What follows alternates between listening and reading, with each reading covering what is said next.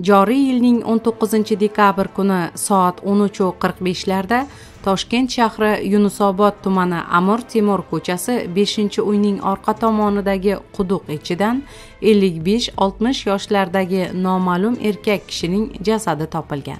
Posta nashrining xabar berishicha tashqi ko'rinishidan jasadga jarohat yetkazilmagan.